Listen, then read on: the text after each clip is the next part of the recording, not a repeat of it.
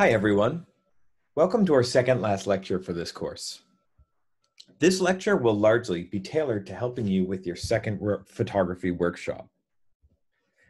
Previously, we talked about various fundamentals and technicals of photography. No doubt many of you have already been, are already aware of these basics. Some of you already have digital SLR cameras at home and thus already have mastered how to manage exposure. That is, the ISO, aperture, and shutter speed triangle. Uh, you may have already uh, worked with lenses in the past from wide angle to telephoto. And perhaps many of you already have a command of how to adapt and source lighting to create effective images. But many of you may not, and this lecture will be devoted to making the most out of our phones. For the most part, the cameras on your phone offer high resolution images, but they lack the level of customization and control that a regular digital camera offers. Phone lenses are limited and they make a lot of decisions regarding exposure and color for you. In essence, this lecture will be a series of tips, tricks, tips and tricks for using your phone to document and present your work without relying on filters and other post-production techniques. You can still get good shots with your phone, so this will be an attempt to help you get the most out of your phones and pick up some deeper photo principles along the way. Many of you may already know intuitively, but hang tight. I'll be working with my iPhone, but, an, but Android has many of the same features and expands uh, and, and even expansions on what I'll be showing in their manual mode. Let's begin by talking about what you can do with your phone's camera. Firstly, make sure that you focus on your subject matter. Tap on the area that you want to be in focus for your image and your camera will do its best to prioritize the focus and exposure of that particular element. Furthermore, adjusting the slider to the right will allow you to adjust the exposure to something brighter or darker depending on your own preferences the iPhone's digital camera, the iPhone's uh, camera grid can help you to create a balanced composition that adheres to the rule of thirds by displaying a faint grid over the capture frame. You can turn on this camera grid on iPhone easily in its settings. For those of you who don't know what the rule of thirds are, the rule of thirds is a soft guideline that often makes for more pleasing image composition. Aligning your subject matter along the lines and vertices can often create more tension, energy, and interest in the composition rather than simply centering your subject. Take this image by Jeff Wall entitled A Sudden Gust of Wind After Hokusai. The horizon is set entirely is the horizon line follows the lower third of the frame, while the trees in action are well aligned in the left third of the frame. But one thing to keep in mind is that the rule of thirds can be a guide, but it's never a hard and fast rule. You can deploy any of the elements and principles that we learned in our first section of this class to your frame composition for effective results. Take this image by Stuart Klipper, which places his subject matter dead center in the frame. Lastly, explore the settings that come with your phone. Outside of filters, your phone offers plenty of options for getting the best image you can out of its interface. Those are some of the basic tips for getting the most out of your phone camera, but there's a whole mess of measures that you can take when setting up your shot.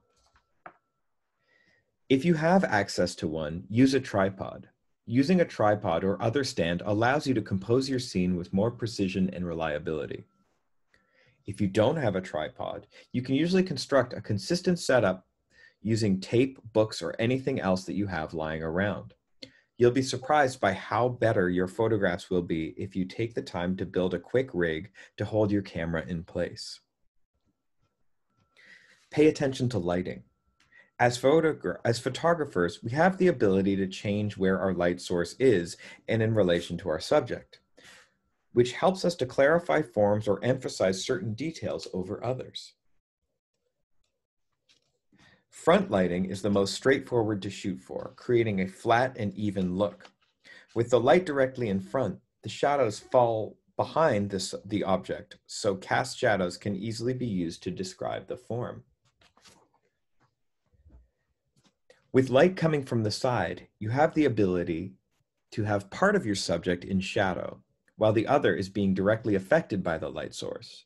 This creates a sense of dimensionality as the light and shadow will articulate the shape of your subject.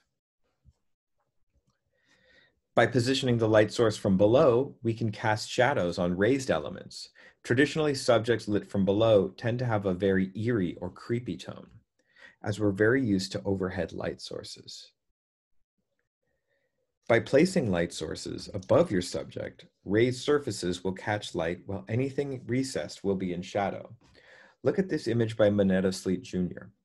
The light is coming from just above the subject's eye line. You notice the highlights on her cheekbones and her shoulders. In real life, we're often seeing multiple light sources at the same time, with each affecting the image that we see based on their distance, intensity, and size. When we're planning our photos, we can light a subject from multiple angles to balance our colors, clarify the forms, or simulate a more natural lighting scenario. Remember to find ways to diffuse your light the larger the light source, the softer the light. By that principle, the closer your light source is to your subject, the larger it is. You can use paper to cover your lamp or a white sheet to help soften that light source. You don't necessarily need access to a studio or studio equipment to get a studio feel for your images. Take this impromptu setup I created as a demonstration. This is a quick setup to demonstrate what will be uh, an asset for the next workshop. To create this image, I used a plain sheet as my background, taped to the wall and stretching below my subject. I'm using two light sources at a three quarter angle to create, uh, to ensure that my subject is well lit and well articulated.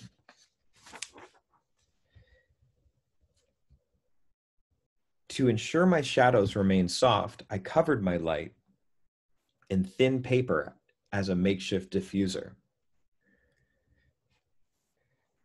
I've also anchored my phone to this box with tape as a way to ensure that I can take multiple images and adjust without losing my framing. My last tip for this lecture is simple. Take a lot of images, take a lot of pictures. Take many, keep adjusting, and then, after the fact, assess and select your preferred image. Remember that you are capturing an ethereal moment, and so the more versions you have, the better the chance you've got you get you've got what you intended to get. So that wraps up my relatively short lecture for today. For our final lecture, I'll be taking you through some basic methods of cleaning up your image in Photoshop. If you have any questions before then, please don't hesitate to reach out. I'll be around.